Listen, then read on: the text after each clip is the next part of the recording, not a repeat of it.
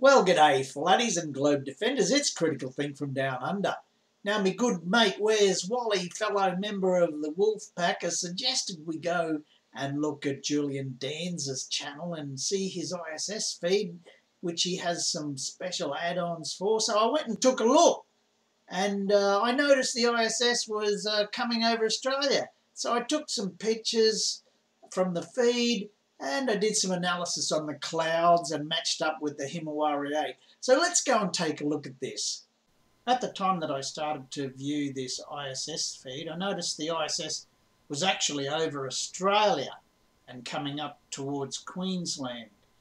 So uh, I thought that was interesting. I'd, I'd see, go and try and look at, see if I could identify any landmarks and uh, having a look at the Himawari 8 in uh, which is a real-time feed of this hemisphere that Australia sits in. I'm looking at the uh, cloud formations around about this time. Notice there's some interesting circular one right there to the southeast and a little bit of a sort of a circular pattern to the left. Now, people like Gleam say silly things like, oh, that could be a globe or flat. The Himawari 8 doesn't tell you anything about the shape of the Earth. But then, um, okay, if this was not a globe, then my question would be, well, where's the US of A and Europe? Where are they gone? Shouldn't they be shown if that was a, a view of something flat? No, they're over the other side of the globe, and that's very easy demonstrated. But anyway, I've zoomed in on Australia.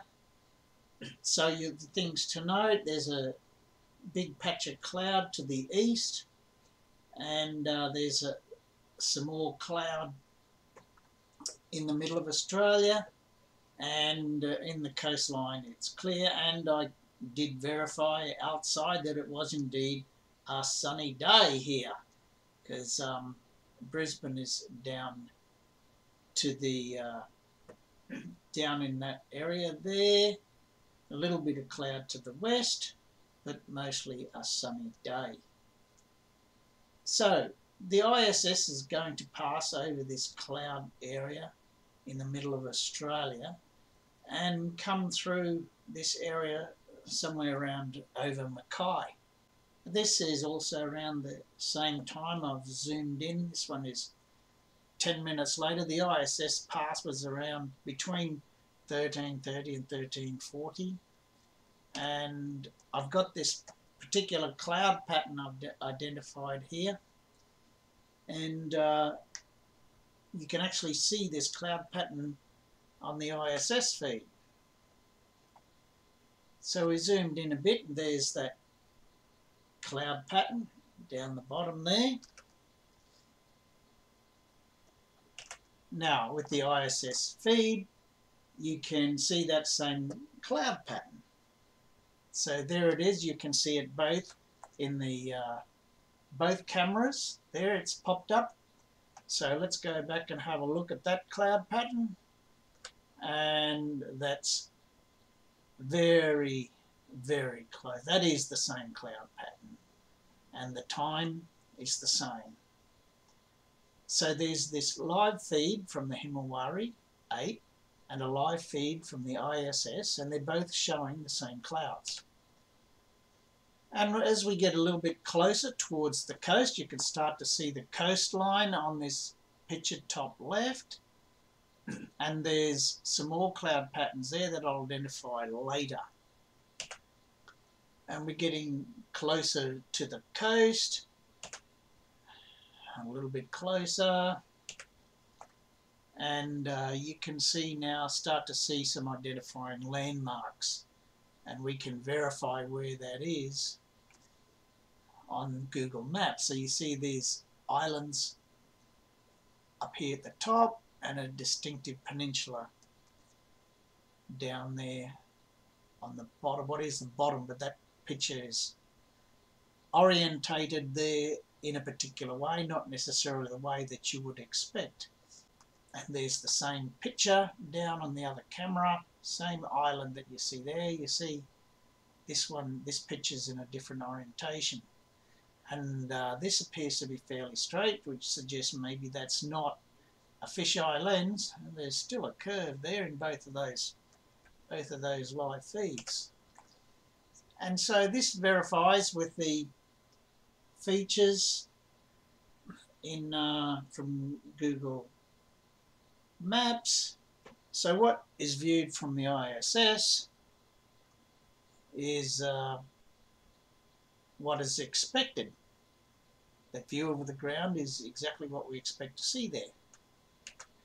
Now I've taken the same patch of cloud from the ISS feed on the left and the Himawari 8, I've zoomed in quite a bit, on the right. So you have to remember that the Himawari 8 is nearly 36,000 kilometres in a geosynchronous orbit and the ISS is only 400 odd kilometres. And the ISS picture is facing at an angle down and the Himawari 8 camera is facing straight down. So the angle's are a bit different and one's closer than the other one. And so the pictures, the cloud patterns won't be exactly the same but they will be very similar. So if you first of all look uh, in this area on the ISS feed, you can see there's a, like a number three there. And we can identify that in the other cloud pattern as well. But that's not all. That just may, you say, that may be a random pattern. But there's another symbol here which looks a little bit like a part of a Japanese alphabet or something. But that very distinctive shape also appears on the same cloud pattern. Now there's also other cloud patterns down here under that, very, very similar. Um, so there's one that's the same, that matches, that matches, and then the next one down there, I've drawn some lines in to match that up. And uh, some people would see that as a heart shape, and uh, some others would see it differently. But there you go, you can see that the patterns match up. And for any of you flat earthers that might think that the ISS can't be real, well, there's definitely something there you can chew on.